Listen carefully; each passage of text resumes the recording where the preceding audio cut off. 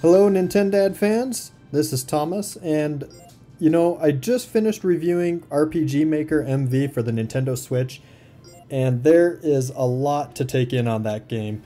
So I thought I would do a brief sort of tutorial, sort of tips and tricks and show a few things that I've learned.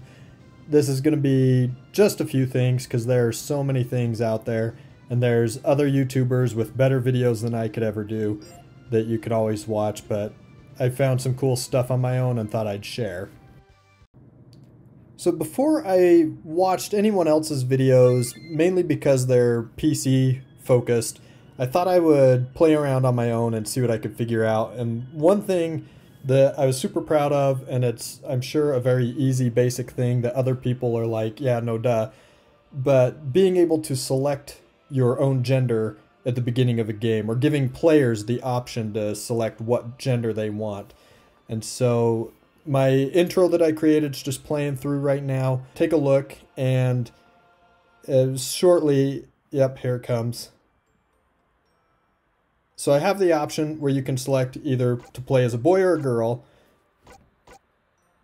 And it scrolls 16 years later. You started out as that angel sort of thing. And I've selected a girl. So there, there you go. So that is one option. I named her Evelyn just to kind of set this up for the demo. But now I'm going to go back through. I'm going to play the intro one more time. And this time I'm, I'm going to select a male character. So go ahead and take a look. And then I'll show you how I put that together. I'm just holding the button to fast forward through that. just jump through the text really quick. Again, our angel type being drops down to the hospital and is confused. Like, what? What do you mean, meet me? Okay, this time we're going to select gave birth to a healthy boy. We'll just hold, skip that. And there you go. So again, now I am controlling a male character where I had that option based on the intro of the game. And I'm going to show you how to create that I'm just taking you a quick tour outside his house. Jump back in. And another thing I added was I made it so you could walk on the bed and then take a nap. And it does restore all your stats.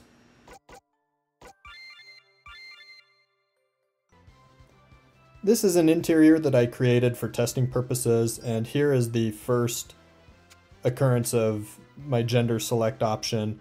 And let me go, go ahead and show you how I set that up. And we'll just create a new event.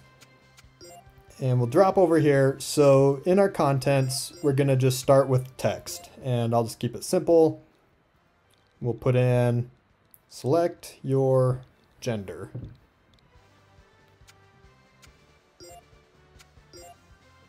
All right, once we have that, just come back into the event creator or add the option for show choices.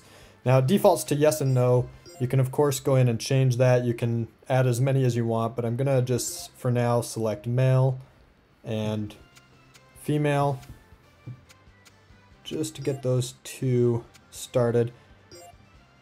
Then under the first option there, when the player selects male, you come in here under party, we're going to select change party member. And first I'm going to remove my spirit, which I just named E.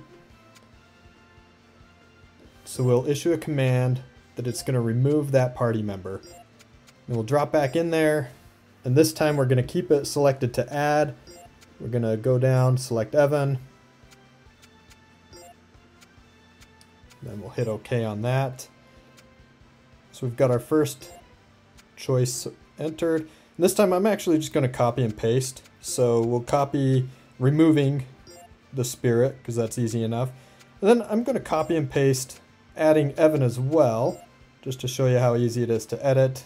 Hit the X button, select edit, go back to your list of actors, select the female character, Evelyn, drop down, save that. Now, on the original one I created, if you noticed, when I displayed that, it had a switch at the end of it. Now I'm still learning what the switches do and exactly how they work myself, But I know that if you don't have a switch, then the the command or the event can run concurrently without stopping. So I'm just going to show you a demo of what I mean by that. Jump back into a playtest. Now, here's my spirit, the original character that you start out as. And I come over to my event I just created and I select female. Now if I go back to that same square and I select male, it's just going to add Evan because it's still an active event that I can choose from. Now up above that event is my original event that I created and I'll show you how that switch makes it so you can't accidentally have your players add a second character when you only want them to start with one, for example, when they're getting that initial setup going. So we're just going to reload, drop back in, and this time I'm going to go above and get my original, and we'll select boy, go back, and I'm hitting the button, nothing happens. So that event is now turned off. I don't know exactly how it works, but it won't let me. But of course my event that I just created is still active, and so I'm able to go in and get the female party member added in.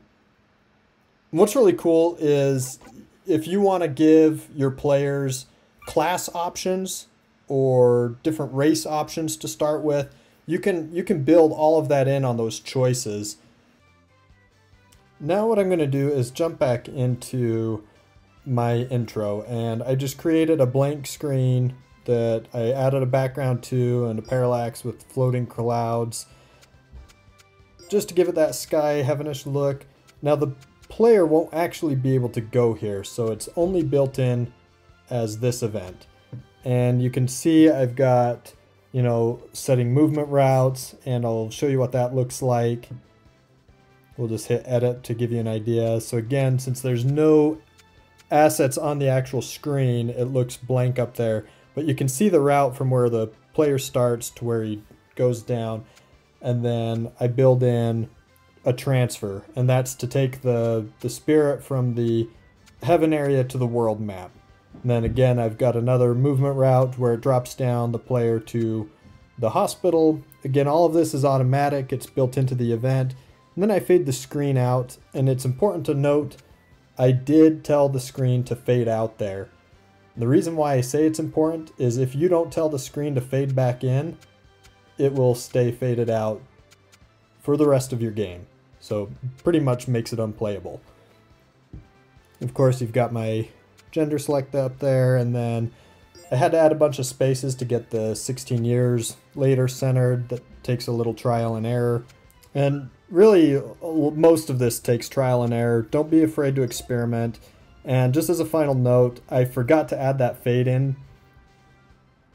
And so I spent a ton of time trying to figure out my why my screen was dark. And finally I had to get my son to come down and show me what I'd messed up and he spotted it right away. So again, have fun with it. Thanks for watching. Subscribe to Nintendad and follow us on Twitter.